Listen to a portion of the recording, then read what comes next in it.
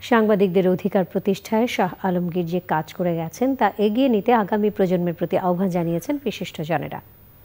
জাতীয় প্রেস ক্লাবে স্বজন সহকর্মীদের আয়োজনে স্মরণ সভায় বক্তারা বলেছেন, নিজে সৎ সাংবাদিকতার চর্চার পাশাপাশি সাংবাদিকতা প্রশিক্ষণ এবং গবেষণায়ও তার অবদান স্মরণীয় হয়ে থাকবে।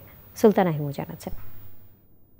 বহুমাত্রিক সাংগঠনিক গুণের অধিকারী প্রয়াত প্রথিতযশা সাংবাদিক Shah Alamgir. Press Institute of Bangladesh PIB এর মহাপরিচালক ছিলেন তিনি। পত্রিকার পাশাপাশি দীর্ঘদিনের সাংবাদিকতা জীবনে Channel I Ekushey Television Jamuna Television Maasranga Television O Asian টেলিভিশনের মতো প্রতিষ্ঠানে বার্তা বিভাগের নেতৃত্ব দিয়েছেন তিনি। বরেণ্য সাংবাদিক শাহ আলমগীর বিভিন্ন সামাজিক সাংস্কৃতিক সংগঠনের সঙ্গেও জড়িত ছিলেন। মানুষের মধ্যে প্রতিভা ছিল এবং মানবিকতা ছিল। শাহ আলমগীরের সাংবাদিকতা আমাদেরকে অনেক সমৃদ্ধ করেছে।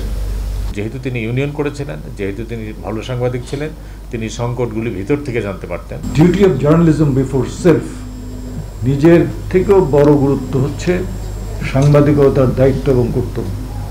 সেটাই তিনি পালন করলেন। স্বজন ও সহকর্মীরা বলেন সাংবাদিকদের অধিকার প্রতিষ্ঠা আন্দোলনে সবসময় সামনের সারিতে ছিলেন শাহ আলমগীর। আমি সেই জার্নিতে আপনাদের সাথে আমার পরিবার এবং আমি থাকব। আপনারা শাহ আলমগীরকে স্মরণ করবার জন্য আপনাদের সবাইকে ধন্যবাদ। সাংবাদিকতার প্রসারে শাহ আলমগীর যে কাজ করেছেন তার প্রসার ঘটাতে সবাইকে ঐক্যবদ্ধ থাকার আহ্বান জানান বিশিষ্ট সাংবাদিকরা। Sultana Himo Channel I Dhaka.